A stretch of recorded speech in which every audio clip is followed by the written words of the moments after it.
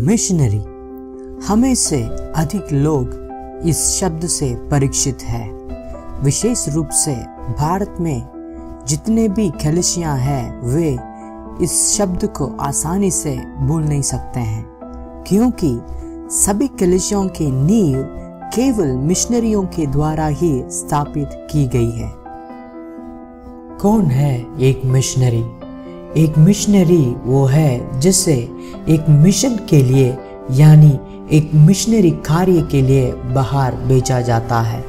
हाँ हमारा परमेश्वर और उद्धारकर्ता जिनकी हम आराधना करते हैं, वो एक मिशनरी है, जिन्हें उनके पिता ने एक मिशन के लिए, यानी एक कार्य के लिए भेजा, जो मानव जाति को चुड़ाने के लिए।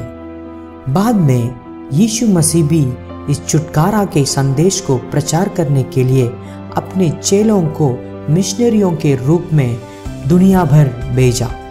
वैसे हमारे भारत में आने वाला पहला मिशनरी मिशनरी तोमा है, जिसे दिदुमुस भी कह जाता है। वो यीशु मसीह के बारह चेलों में एक है।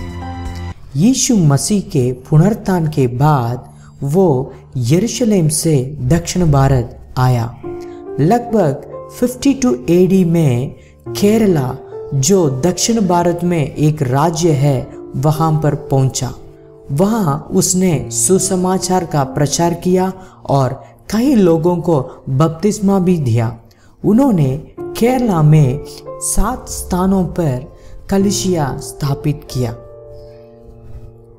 കൊടുങ്ങല്ലൂർ पलयूर परवूर कोक्कमंगलम नीरानम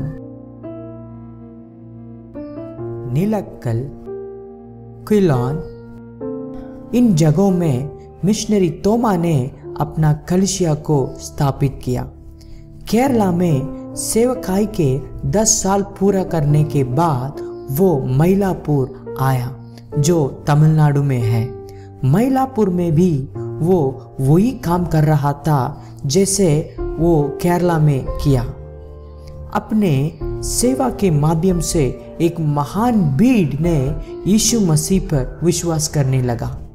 एक बड़ी भीड़ के परिवर्तन को देखकर उस समय के रूढ़िवादी लोगों और उनके दुश्मनों ने लोगों को कोने के डर से उसे मारने के लिए योजना बनाई।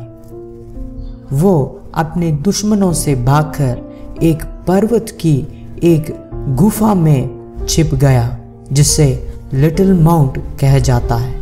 उनके दुश्मनों ने उनको नहीं छोड़ा, एक बड़ी क्रोध के साथ उनको पीछा किया।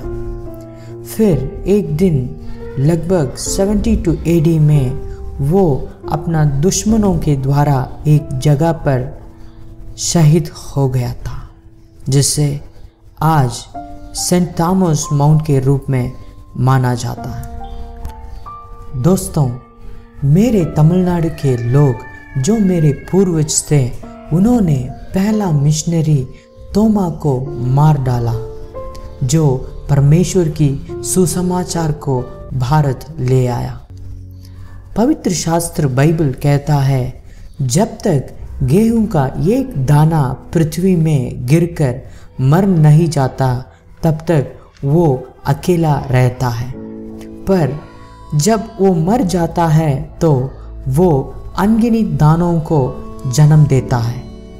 उसी तरह पिछली सदी से कई कलशियाँ और यीशु मसीह को पीछे करने वाले पैदा हुए, जहाँ मिशनरी तोमा ने परमेश्वर के सुसमाचार के लिए अपना जीवन को त्याग दिया।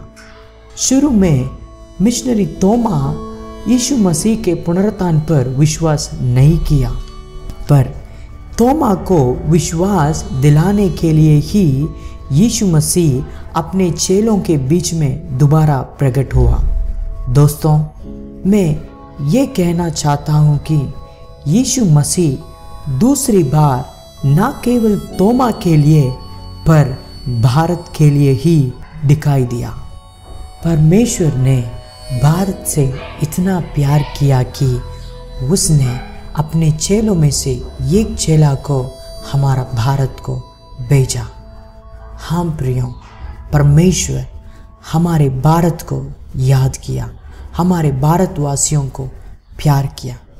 आइए, हम भी उस महान परमेश्वर को याद करें प्यार करें।